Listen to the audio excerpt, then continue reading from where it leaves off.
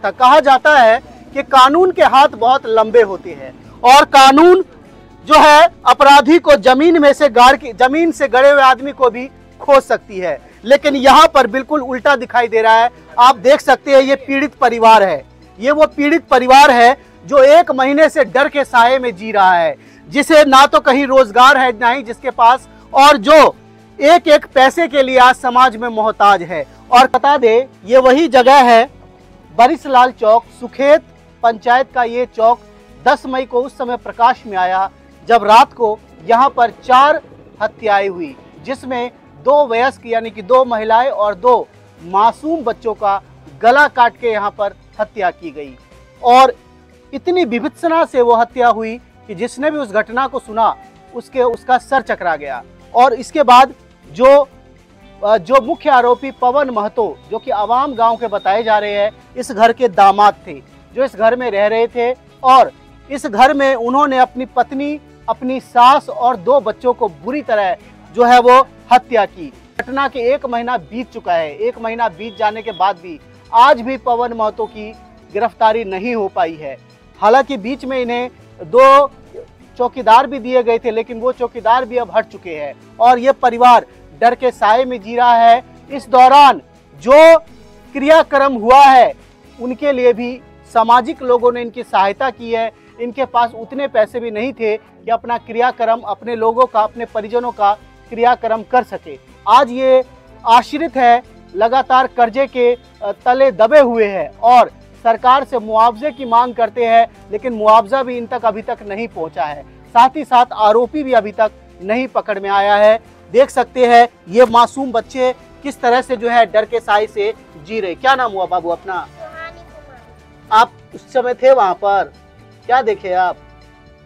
रात में मेरा दीदी को दादी को दो बच्चों को मारा। मारा ना? तो देख सकते हैं मासूम बच्चा जो है वो क्या मासूम बच्चा सारी गवाही दे रहा है और यहाँ बहुत सारे देख सकते हैं आप ये सभी पीड़िता परिवार है जो आज डर के साये में जी रही है। हम इनसे बात करने की कोशिश करेंगे। क्या नाम हुआ अपना? संतोष संतोष जी, अभी तक एक महीना बीत गया है। पिछली बार भी हमने आपसे बात की थी तो आपने बोला था काफ़ी डर के साए से हम जी रहे हैं। इस समय तो चौकीदार को भी हटा लिया गया है। कैसे आप लोग रात को सोते हैं और कितना रात को नहीं सोते हैं, रात को जगते हैं, दिन को सोते हैं। इतना डर होता है। कोई रोजी रोटी भी नहीं कर पाते हैं डर से।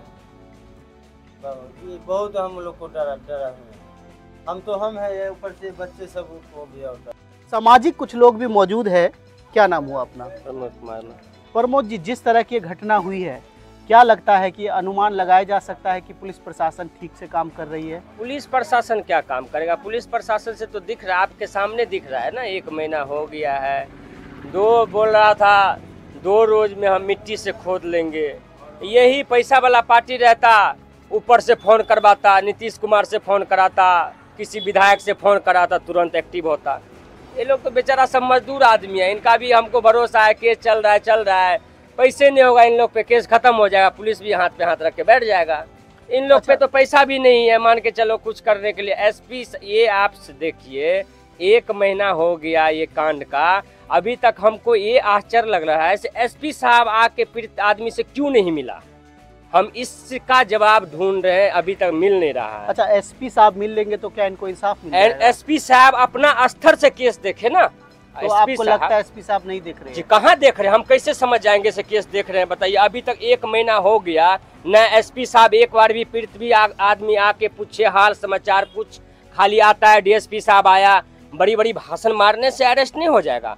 आप काम कीजिएगा हम लोग जाते हैं थाना पे तो बोलता है आप सुराख दीजिए हम क्यों देंगे भाई सुराख? हमारा हम- आपसे बोलता है सुराग देने हाँ, के लिए। आप दीजिए सुराख कहाँ कहाँ रिश्तेदार है। जब हम आपको सुराख देंगे तो आपके जगह हम इंस्पेक्टर नहीं बन जाएँगे। हम आदमी आम आदमी थोड़ी रहते।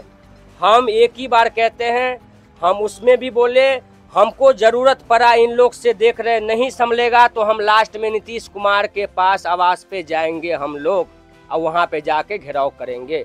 बहुत होगा। आ, उन लोग को परेशानी होगा तो हम लोग को भी गोली मार दे सारे आदमी मिल के बात खत्म है। मगर ये चीज़ नहीं हुआ। अरेस्ट के साथ ये लोग जो कन्यादान किया था इन लोग पे अभी आठ से दस लाख कर्जा अरेस्ट के साथ उसका लड़के का जितना संपत्ति हो बेच के इन लोग का मुआवजा भी दिया जाए दोनों काम हुआ जाए। मैं सरकार से यही प्रार्थना करता हूँ से जल्द से जल्द अरेस्ट हुआ और उनका जो भी है मैं कह रहा हूँ उनका हिस्से का जो भी जायदाद हो इन लोग को बेच के इन लोग को मुआवजा दिया जाए। सरकार से मैं यही अनुरोध करता हूँ। चल सर जिस प्रकार से कहा जाता था बीजेपी का राज तो एक सुशासन का राज है। हालाँकि मैं इसे राजनीतिक मोड़ दे रहा हूँ लेकिन कहीं ना कहीं कहा जाता था मोदी है तो संभव है। लेकिन आज इस बीजेपी के राज में एक अपराधी एक महीने से फरार है और मुख्य अभियुक्त की अभी तक गिरफ्तारी नहीं हो पाई है। क्या कहना चाहेंगे आप? सर एक्चुअली क्या है ना कि ये जो घटना है, बहुत ही दुखद, बहुत ही निंदनीय है। और सबसे बड़ी बात क्या है कि इस घटना की जानकारी यहाँ से पटना तक है, जो डबल इंजन की सरकार तक ये घटना की जानकारी है। और उसके बाद यहाँ के प्रशासन उस घटना को, जैसे कि एक आम घटना हुई और आँख बूंद करके सो गई। अभी एक लड़का बोल रहे थे कि उस दिन जब ये जन आक्रोश उस दिन जो था उसको शांत करने के लिए यहाँ के प्रशासनों ने इन लोगों को आश्वस्त किया कि मैं दो दिन में उस मुख्य अभियुक्त को गिरफ़्तार कर लूँगा। आज एक महीना हो गया आज ही के दिन यहाँ पे छाया है। हम लोगों के हम्म, हिंदू समाज में एक महीने के बाद छाया होती है। और इस नरसंहार में आज के दिन किनका छाया है? क्योंकि ये नरसंहार हुई है। किसी एक व्यक्ति की हत्या होती है तो वो एक व्यक्ति की होती है। लेकिन यहाँ मतलब दो बड़े लोग और दो मुँह, दूध मुँह है, बच्चे की हत्या हुई है। इसको नरसंहार की संज्ञा हम लोग के तरफ़ से है। अब सरकार क्या बोल सोचती है या प्रशासन क्या सोचती है, उन लोगों का काम। उन लोगों ने कहा कि मैं दो दिन का आप लोगों से समय लेता हूँ और आज एक महीना खत्म हो गया। उन न उस अपराधी का पता है। अपराधी ये षडयंत्र कैसे किया उसका पता है। न इन लोगों के पास में कोई सरकार का नुमाइंदा। उस दिन जो आए। कहा जाता है जो दो चौकीदार दिए गए थे उनको वो भी हटा लिए गए हैं। जी जी जी। क्योंकि उन लोगों का ये है कि इन लोग पूरा दहशत में है पूरा दहशत में है। इन लोगों का और ये लोग दहशत में है और इन लोगों के साथ में पूरे समाज, पूरा पंचायत का लोग इन लोगों के साथ में, पूरा क्षेत्र का लोग इन लोगों के साथ में है।